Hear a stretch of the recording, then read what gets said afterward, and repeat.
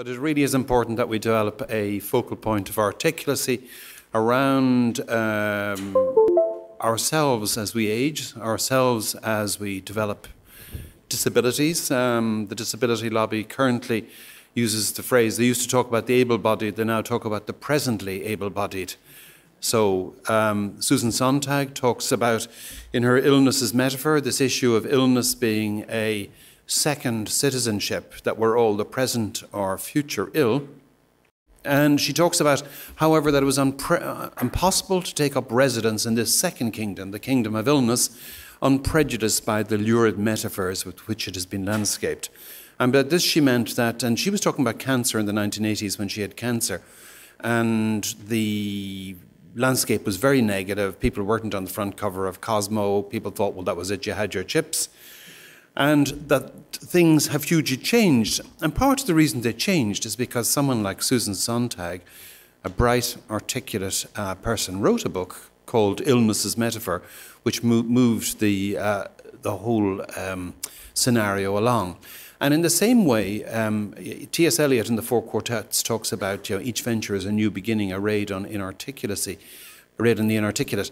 We, we, in a way, because for so long we've taken it almost for granted that the idea of um, killing people or helping people to commit suicide is, is, a, is, is clearly not a prudent or a good idea, is that all of a sudden, when I suppose that consensus breaks, very often we're not prepared for it. It's almost like being mugged in a way. And there's a couple of uh, extra and special features, I think. So I'm going to talk about it in terms of how do we approach this? For example, how do I approach this with the students? Because I have been doing some ethics teaching with the students, and I've been doing ethics teaching with our um, uh, trainees. I also write a column once a month, and in the Irish Times, I write a blog, a blog in the BMJ. I would do research in ethics. And it strikes me that there's a couple of key issues that those of us here in the room, and hopefully in a wider sense, need to take into account. And one of them is uh, Nietzsche's comment that convictions are greater enemies of truth than lies. And this lies on both sides of the debate. It lies on the side of the debate who are uh, and particularly the, the pro-euthanasia, pro-suicide, pro-suicide faction is not, in fact, largely related to late later life, which is where I mostly do my practice. It's related to late middle age, early old age, where people actually are, are have extraordinary negative prejudices about aging and disability that would not be tolerated for racism, would not be tolerated for sexism. But we too may well have convictions, and we've got to be very careful about how our convictions is that we, we're now into a public debate space. So, I think there's a couple of things we need to think about in Ireland. It is a small country, and in a small country, people sometimes feel uncomfortable about challenging other people. And I think in the recent case in the uh, uh, in the courts in Ireland, clearly people felt a little bit uncomfortable where we've also got a highly individualistic culture. One of the uh, clientelism has kept our small hospitals like Portlaoise open. So the reason we have scandals in Portlaoise Hospital is largely to do with the Irish people and their engagement with their politicians, because the people of Portlaoise don't understand. Their politicians do not provide sufficient leadership for them to realise you cannot have this individualistic service down here and expect high standards. It's a little bit like the joke about the child who tells his mother, When I want to grow up, I want to be a rock star. And she says to him, Well, you can't be both. And. Uh, so we, we have a highly individualistic culture. So, for example, special case pleading over extraordinarily expensive medications. It causes me deep indigestion, and some of my colleagues get up and promote for a, a drug that our health service is busy trying to say, no, we won't take it until you lower the price. And the next thing is we're taking, because of special case pleading in our setup, we're taking medications that cost half a million a year. We're not increasing the budget. So when you get your stroke and you don't get therapy, it's because we've allowed this individualistic culture to arise. And we need to be aware of that. The third thing is we are recovering from undue clerical influence. I'm the generation that just about missed the belt of the crozier. But the idea that bishops would tell you not to go to a football match against Yugoslavia because it was a communist, godless country, uh, the idea, you know, strictures around everything from dance halls and jazz.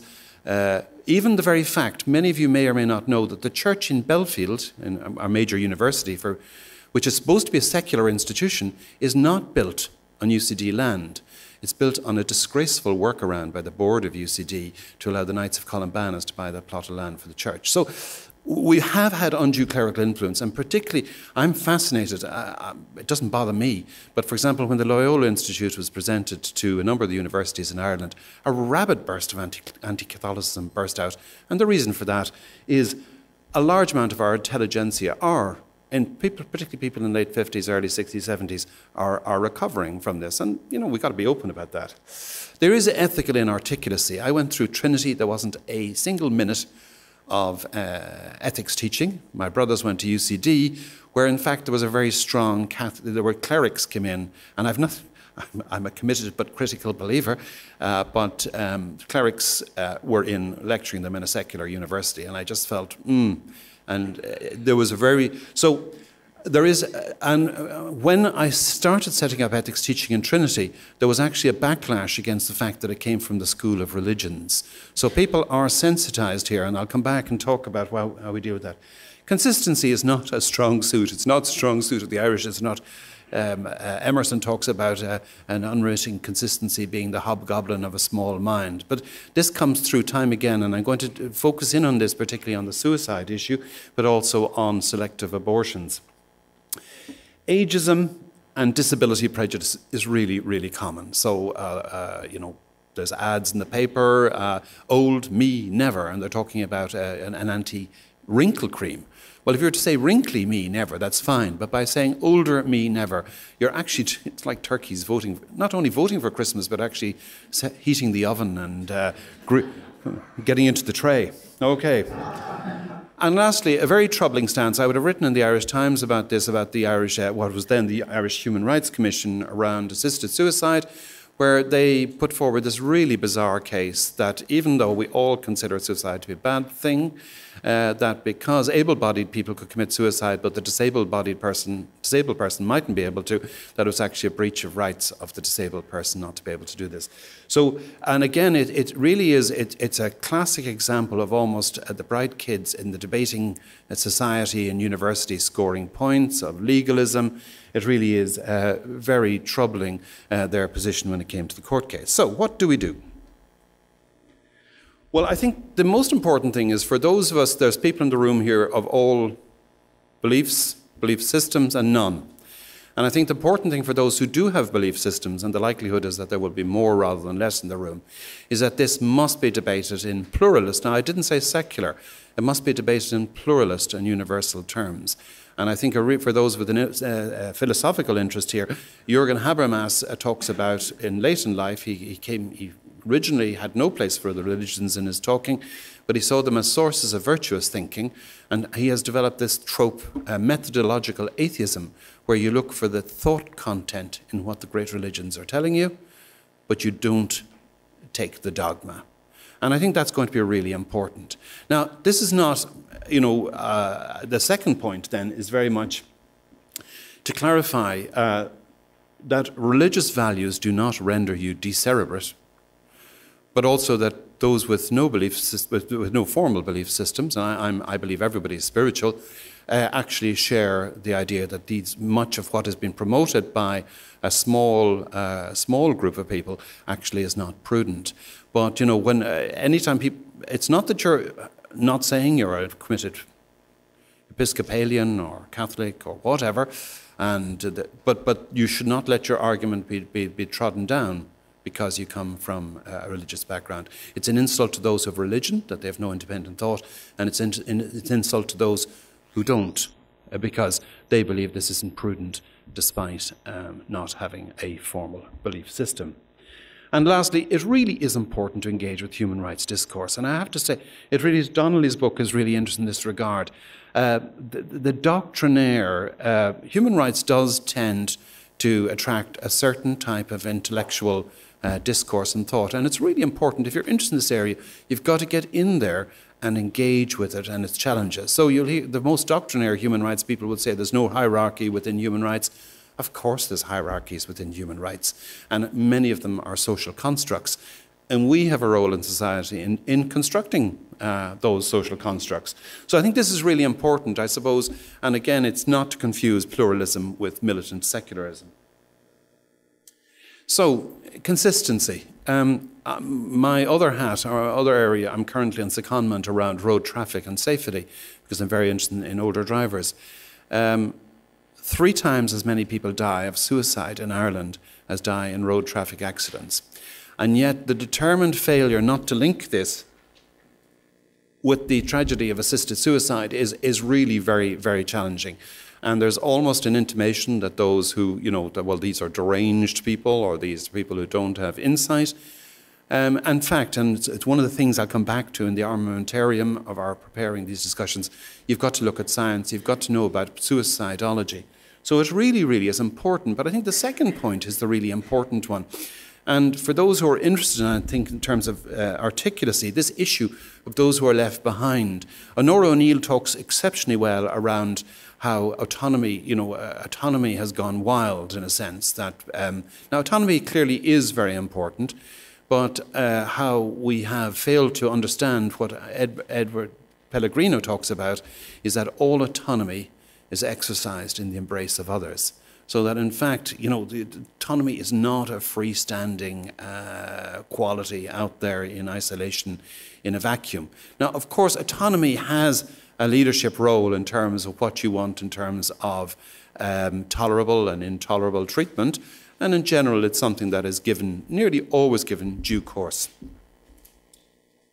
But I have to say, my, my, my moment of, of, of, of, of, of, that hugely helped me here, and I'm a great believer in using arts, humanities, as well as science to support, back up, and find articulacy, was a, um, a documentary on BBC of T Terry Pratchett, who thankfully, despite his discourse and rhetoric of assisted suicide, died a natural death, uh, going to Dignitas, the mislabeled Dignitas in Switzerland. And what's most interesting in this is this is the discomfort of those around them. So the mother of the young man with multiple sclerosis who wanted to commit who wanted assisted suicide, the awful dilemma she was put in where she didn't want not to be with her son, but she still wanted her son around. And indeed, the phrase, I, I, what's nice, I, I'm a great believer in the professional insights of editors, because I don't pick the emphasis, it's the editor who picks the emphasis and that not wanting to be a burden is the greatest burden of all. Not wanting to be a burden is our turning our back on our mutual interdependency. It's turning our back on the moral values and insights of caring. And I'm going to come back to this at the end the issue of how we portray caring. And those of us who do advocacy for diseases of later life and disability need to be really careful how we portray uh, the caring task. But I'm a carer myself, and it's actually part of my life. I'm really glad to be looking after uh, the person I'm looking after or whose care I'm coordinating. And um, uh, thankfully, you know, every so often she says, "Oh, I'm a burden," and every so often we say, "Well, we were we were a burden too." this, you know, it's. Uh, but anyway, so I think the the issue of we there needs to be a constant. Those who are engaged in this area and wish to become articulate must under, must have within them those who understand the science of suicidology, so that they can rebut the fact that this is some different group of people. Every uh, premature death uh, is something we don't want. And again, this is a classic example. Can we imagine if Joanna Trollope had spoken about perhaps race in this way or sex in this way, but and even the portrayal, and I'll come and talk about the little bit of science about what life is like with dementia, but a greater fear is going gaga. Now, we've actually moved on in mental health. So, you know, if she, if she'd get a severe depression, she wouldn't talk about herself, I fear being insane. You know, she wouldn't use this negative language and being a burden and helpless to others. And again, not, it's, we, we've got to perhaps develop an articulacy that says that, that, that we don't talk about people in cancer in our society being a burden on society. We and even though we know a significant number will die as a result of it, but we have shifted our mindset and our compass for cancer is that we don't see cancer as an, a burden. We see it something worthwhile going out and supporting. And what we've got to do is make it worthwhile to go out and support those who care and those who have dementia. So my, one, of, one of my crusades at the moment is the idea is if I'm looking after my mother, uh, should what I'm doing be described in terms of care or burden, or should the burdensome elements of it be uh, referred to as the burdensome aspects of care? And this is really important. Iconography is important. This picture comes from the Journal of the American Medical Association. It's a patient page. So every so often they have a page you can cut out and photocopy or download off the web and give to your, your, your, your, your, your, your patients. And look how they portray caring. You know, it's, it's all negative tropes. And I think most of us want to look. I, I'm, I've worked in several different countries. Most people, no matter the strains of modern day life and families and new family situations and, and, and everybody working, people love their parents in general and want to look after them. And this, is, this picture does nobody any service. But I've been involved with the Alzheimer's Society, I've been involved with advocacy for older people, and we mustn't say, we mustn't emphasise care or burden, but rather the burdensome aspects of care. So, uh, again, coming back to the um, Human Rights Commission, and again, uh, I, I, think, I think we need to develop a due articulacy, and in a small country, not to be uh, unduly scared of coming out and talking. And it is, you know, there, there, how do we get this balance right? It's going to be a, a big challenge. So, one of the first things we've got to do is build up ethical articulacy. And again, it's quite a challenge in the universities. I would have to say I'm a bit disappointed in Trinity. Uh, we would have had, uh, as far as I'm concerned, you don't teach ethics like you teach health and safety regulations. You don't get in a teacher to teach them, but that's effectively what they have. They don't, as, and very often they mix ethics, and this is a real problem in the United Kingdom as well. They mix small departments of ethics and medical jurisprudence or medical law together. Now, that means you don't give due uh, uh, privilege and support to both, and when push comes to shove, people tend to revert to legalism. So it really is important that you get a Department of Ethics teaching that's embedded with clinicians with an interest that has a research element, that has a postgraduate element, and that has an undergraduate element. I'm, I'm, I'm, other than the College of Surgeons, which has some research in its, in, its, in its ethics department, I'm not aware of any of the medical schools having a substantive research postgrad element to their undergraduate teaching. People are bought in almost to do undergraduate teaching. So we need to, it's something that needs to be developed. And uh, again, I think often some of the concepts within ethics, for example, like virtuous, virtue, virtue almost, people are almost um, um, shy of using uh, words like virtue. It sounds like a Victorian um, trope. Um, um, whereas I'm fascinated, Atul Gawande, whose most recent book, Being Mortal, is truly fascinating around the area of death and comfort in death. He talks in his book Better about making health systems better. He uses the phrase, do the right thing. And I know when I talk to the students, they're uncomfortable with words like virtue. They shouldn't be, but they are. Whereas you say, well, actually, what we mean is, and you take a surgeon who writes well and is ethically informed, like Atul Gawande, and say, well, virtue is doing the right thing, um, then you can restart. But some of these words people find, find difficult.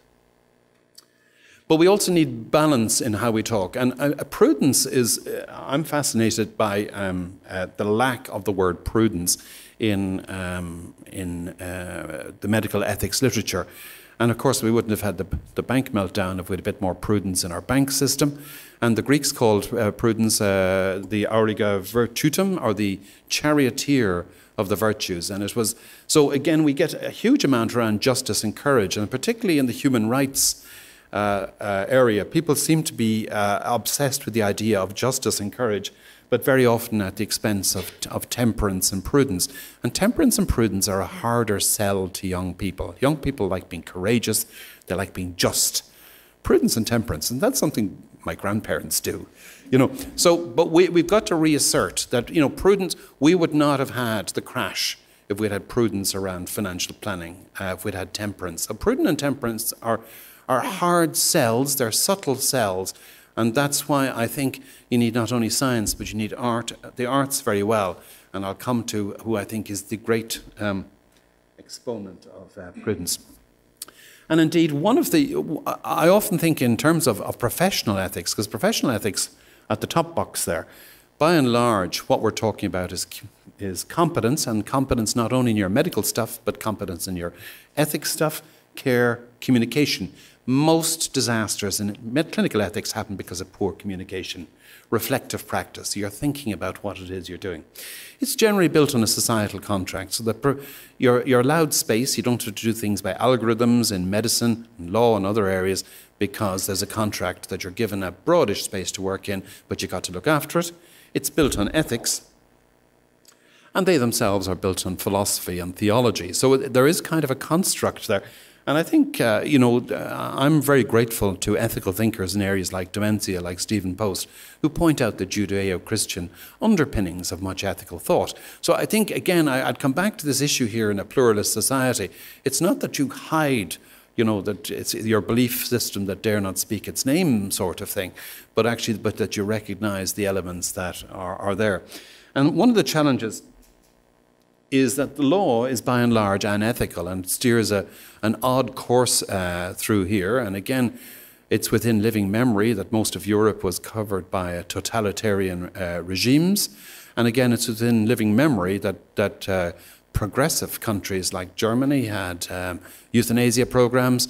And uh, up into the 1970s, that Sweden had sterilization uh, programs for the uh, dis disabled, handicapped, mentally ill. So again, we really have to be very careful, and human rights discourse is very often much more coloured by law. I'm so much more impressed by the British Human, Human Rights Commission, which is headed by a philosopher. And that's what, who it should be headed by, Onora O'Neill, whereas ours is legalistic to, uh, to a fault. And I really think and again, the, the absence of uh, philosophical insights, thoughts, temperance, and prudence are really lacking. Good. So where that leads us to is again, and uh, I have to say, my apologies, I wasn't keeping up the news. I just quickly kept caught up in the European Court of uh, Human Rights. But it leads to sort of like the Terri Schiavo case, where, um, you know, if uh, it really is very sad, where the, you know, the the elements of care, parents who want to look after somebody. And uh, one of my big bugbears is um, the assumption that life with minimally conscious state is terrible whereas in fact we're agnostic by and large what life is. You know, we, we, we don't know, but we cannot assume that it's bad. But having been involved with the uh, Ward case here, it's clear that one of the key issues in minimally conscious is the distress of the family. And I suppose one of the key questions afterwards is how well do we deal with the distress of the family?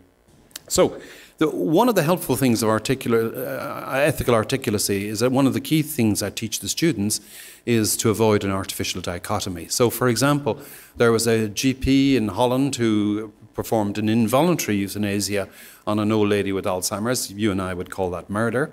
Uh, he actually got off with, uh, with a suspended sentence and wasn't disciplined by the Royal Dutch Medical Society. But when you read how the patient was, lying in coma in a bed, soaked in urine and stinking from bed ulcers and a necrotic pressure sore in her heel. So, um, that the only outcome of poor care would be death is clearly very problematic.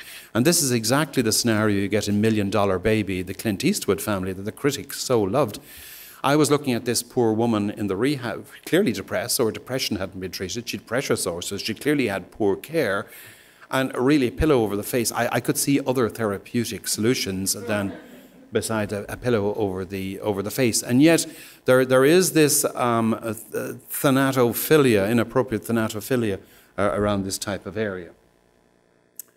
Okay, better care is, is, is got to be the solution. And again, part of the hope thing is, you know, I think we mustn't let ourselves be, be sucker punched into say, well, because the care isn't good enough and you're not fighting hard enough for, for, for good care. I think everybody must fight for good care, and it's part of a natural justice, but it shouldn't stop us talking more specifically about this area here.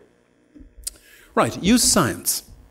And this is really important. Harvey Chochinov in Winnipeg is utterly fascinating and fantastic in this area here. But he's actually, this is one of the most ignored papers in the medical literature, but he's actually shown in a huge range of people who died that actually most of them in natural death the vast, vast majority die with dignity. So it's really important that we, we use the science and the literature that's out there so that it, again, I, I, go back to what I was saying at the beginning. Convictions aren't enough, dogma isn't enough. What we need is, is, is, is in depth thinking and, uh, and articulacy. So when people talk about death with dignity, Harvey Chochinov has told us what death with dignity is it's the natural death that most people have and that they and their families think it is. One of the things that also causes me heartburn is when people talk about somebody with dementia saying uh, how undignified for him or he has lost his dignity. You, you, you, as you look at the first words of the uh, German new German constitution after all they'd learned, is the dignity of, of, of man is untouchable. And actually, this here's where the science helps us. This is Sube Banerjee's work on the quality of life in dementia. And actually, it approximates to that of the normal population, except there's a lower dip in the early stages when people realize they have it.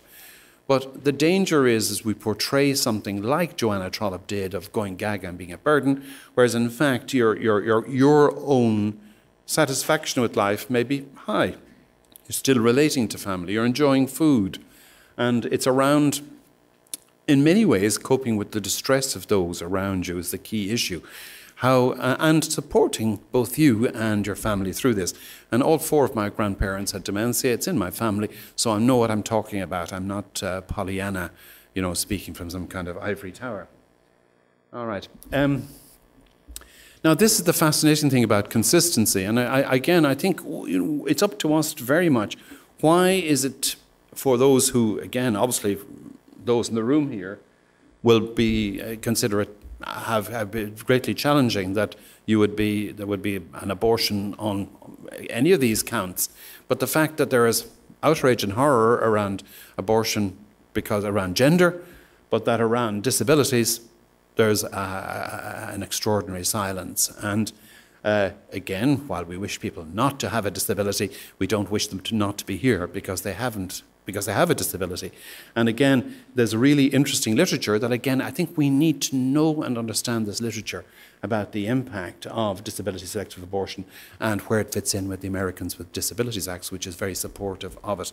And again, the fact that there is virtually nobody now with Down syndrome in, in Denmark is, you know, is, is a challenging, challenging thought.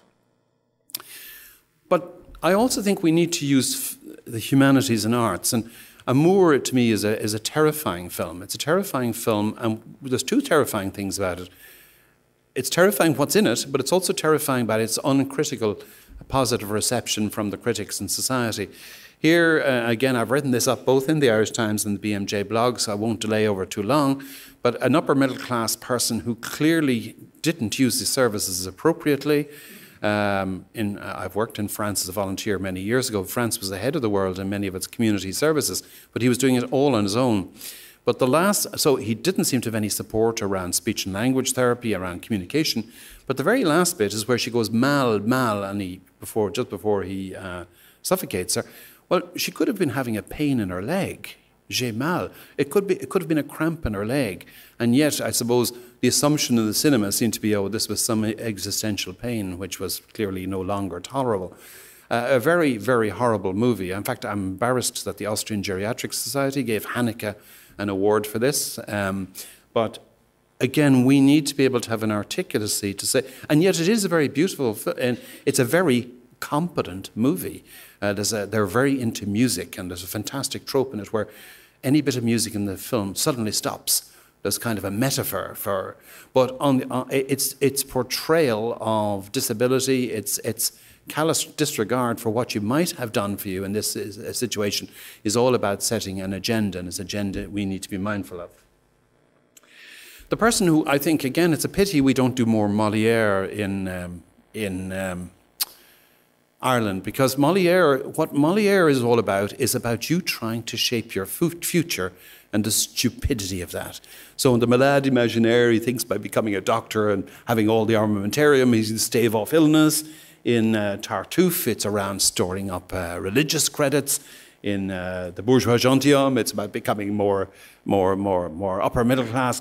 And in uh, the, the, the Miser, it's about storing up gold. It's about the folly of trying to overdetermine your future. And it's actually, it's, once you get through an idea like this, uh, my own favourite trope for, for, for, example, trying to put people off the idea of a rigidly binding advance directive is to point towards the people who took out a mortgage in 2005 when the Celtic Tiger was roaring. What seemed like a good idea then is not a good idea now. That's only your house and money. How much worse could it be it was legally binding and you'd, you'd fed into some very negative idea of life with disability in 30 years' time, and now your, your doctors are going to be legally obliged to uh, use this. I'm very for advanced care planning with a strong moral force, which is made as near the contingency as possible, but it would be against. Uh, so again, I think through using culture, uh, we can we can we can move on. So, for example, uh, I'm very disappointed. I would be warning people away from the Think Ahead initiative funded by Atlantic Philanthropies, which is all about what you shouldn't have in later life. And there was a horrible video. I don't know if it's still on it of a young fireman talking about, well, I've been to many crashes and I don't want to end up like a vegetable for my family to look after me. And I'm going, wait a minute, that's, you know, that's not the outcome of many people. And you could have a head injury and come back to life. And there's a whole wider, broader picture. And in fact, this cartoon nicely uh, deals with it. I'll give you a minute. I hope you can read it from the back. indeed, indeed. So, and again, a little bit of humor is, again, humor is important. Humor in late life, um, I'm a great fan of the Swedish uh, Nobel Prize winner who died in March called Thomas Tranströmer. And a bit like the last speaker talking about becoming familiar with death, but not obsessed by it, Thomas Tranströmer has the most marvelous, marvelous poems about death, a bit like Emily Dickinson. Uh, a wonderful haiku. Uh, uh, Death stoops over me. I have a problem with chess. He has the answer. A fantastic poem, strongly recommended. But and again with humor, it's really important. So, coming to the end, then, the priorities. I think we, we've got to develop an ethics of care, communication, competency. We've got to use science. We've got to use the arts. We've got to recognize occult prejudices, particularly around disability and aging. Uh, positive, informed, relevant, and therapeutic advanced care planning, not advanced directives that say use words like gaga or vegetable or um, and joint working. I think there needs to be very much joined up working between philosophers, theologians, uh, clinicians, uh, people who actually have the condition. That's that's really really important. And there's some very positive work out there. If I was just to point in my own area, I've largely been embedded in dementia. There's a very interesting paper in social science and medicine which talks about unpicking the negative tropes around dementia. So, for example, around sort of Cartesian dualism, where the mind and the body, and when the mind's gone, well, that's that. Around the idea of unity, Instead of talking about a war against dementia as an invader, it's a strange traveling companion. Don't forget, everybody in this room, 45 and over, you begin to have a bit of difficulty with names. But you actually gain in other ways. You're better at strategic thinking, wisdom, altruism, uh, sizing up a social situation. So again, we, this, this traveling companion is with us already. Your neurons peak at the age of 25. Clint Eastwood's just about to do another movie at the age of 85 about Sully Sullenberger, that older pilot who came down in the Hudson. So, to, to, instead of talking about the destiny of biology, to talk about natural aging, instead of going around fear of death, it's around a carpe diem, and it's about the recognition of death as, also as a, as a, as a traveller. Instead of a reversed role, is that it's each in turn and then it's not an issue of quid pro quo and caring, it's around the good mother, uh, if that's not too gender specific element uh, in each of us. So, I'm a great fan of the uh, Bertrand Russell phrases that uh, the demand for certainty is one which is natural to man, but is nevertheless an intellectual vice. And much of the, uh, as I would see, is one of the underlying, as well as prejudice against disability and the diseases of age and aging itself, much of it is around looking for a certainty that the plays of Moliere would tell you you shouldn't have, that the work of deep philosophers would tell you you shouldn't have. And, uh, but it's a subtle, subtle um, play. And again, it must be associated with, I think, a, a sense of justice in other areas as well. So, uh, not just the, the, single theme, but the broader theme. And again, I was very taken with the uh, uh, the, the last presentation around this broader sense of engaging the public. So thanks for the opportunity. Thank you.